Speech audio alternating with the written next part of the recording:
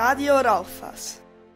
Der Jahreswechsel wird in allen Ländern der Welt gefeiert, allerdings zu verschiedenen Zeiten und mit verschiedenen Bräuchen, von denen ich euch heute einige vorstellen möchte. In Italien ist rote Unterwäsche in der Neujahrsnacht ein absolutes Muss. Wer glücklich und erfolgreich sein möchte, der sollte mit roter Unterwäsche ins neue Jahr rutschen. Zum Essen gibt es traditionell Schweinsachse und Linsen. Deftige Kost bringt angeblich Glück in Geldangelegenheiten. In Spanien gehören unbedingt Weintrauben zur Neujahrsnacht, die Glück bringen sollen. Um Mitternacht schieben sich die Spanier bei jedem Glockenschlag eine Traube in den Mund. Wer sich verzählt, dem steht im neuen Jahr Unheil bevor. In Tschechien gießen viele Familien Blei, um in die Zukunft zu schauen. Noch älter ist der Brauch, einen Apfel zu halbieren und vom Kerngehäuse das Schicksal abzulesen. Ein Mittagessen mit Linsen soll finanzielles Glück bringen. Jede Linse bedeutet Geld. In Großbritannien gibt es an Silvester kaum ein Feuerwerk. Dieses wird nämlich bereits am 5. November entzündet. Hier feiern die Briten nämlich den Tag, an dem der Offizier ein Attentat an den König Jakob I. versuchte. In Griechenland wird in der Silvesternacht gezockt. In Casinos oder zu Hause werden mit Karten oder Glücksspielen gespielt. Das große Neujahrszocken geht die ganze Nacht hindurch. Landesweit werden legal oder illegal ein dreistelliger Millionenbetrag verspielt. In Bulgarien geht es mit Schlägen auf den Rücken ins neue Jahr. Die sollen Gesundheit und Reichtum bringen. Die Kinder schmücken Kirschbaumäste und gehen damit in der Silvesternacht und am Neujahrstag von Haus zu Haus und schlagen damit die Bewohner auf den Rücken. Dabei wünschen sie sich nach alter Tradition ein gesundes und glückliches neues Jahr. Und für das Schlagen erhalten die Kinder sogar auch noch Bonbons und Süßigkeiten von den Erwachsenen. Das nenne ich mal einen coolen Brauch.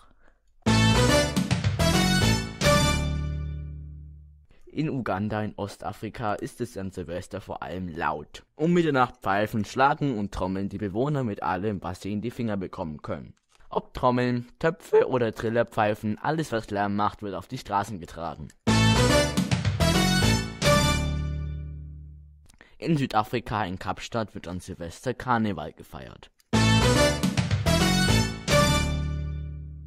In Argentinien obwohl es dort ein Silvester um 30 Grad warm ist, schneit es im ganzen Land. Allerdings nur Papierflocken. Um sich nämlich von Altlasten zu befreien, ist es im südamerikanischen Staat am letzten Tag des Jahres Tradition, alte Unterlagen und Papiere in den Schredder zu werfen und dann die Papierschnitzel, mh, hm, lecker, mittags in, aus dem Fenster in die Straße zu kippen. Man stelle sich das mal bei uns in Deutschland vor.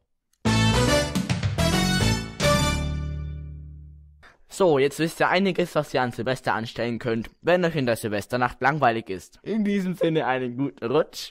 Für euch von Radio Rauchfass, Jonas Ahle.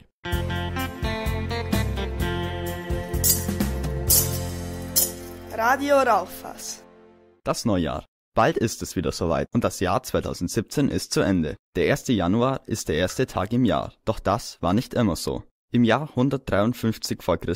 verlegten die Römer den Beginn des Amtsjahrs vom 1. März auf den 1. Januar. Erst durch Caesars Kalenderreform wurde der 1. Januar als Beginn des Jahres festgelegt. Bereits in der Antike wurde ein Neujahresfest gefeiert. In Europa wurde früher der Dreikönigstag oder der 1. April als erster Tag des Jahres gefeiert Erst im Jahr 1691 legte Papst Innozenz XII. den 1. Januar als Neujahrstag fest. Bis heute gibt es nicht überall ein einheitliches Neujahr. Das chinesische Neujahrsfest zum Beispiel fällt auf einen Neumond zwischen dem 21. Januar und dem 21. Februar. Auch wenn die Termine für das neue Jahr sich in den verschiedenen Kulturen und Religionen unterscheiden, haben sie alle etwas gemeinsam der Jahreswechsel hatte schon immer eine besondere Bedeutung. Selbst in der Antike galt dieser Übergang für Fruchtbarkeit und gute Ernten, für den Tod und die Folge neuer Generationen, aber auch für die Geborgenheit in Gott und für die religiöse Neuschöpfung. Es entwickelten sich im Laufe der Zeit viele verschiedene Traditionen für den Neujahresbeginn. In Italien trägt man rote Unterwäsche, in Frankreich ist das Trinken von Champagner und das mitternächtliche Küssen unter dem Mistelzweig ein weit verbreiteter Brauch. In Deutschland wünscht man sich einfach einen guten Rutsch und ein frohes neues Jahr. Ihr Valentin Öfele für Radio Rauchfass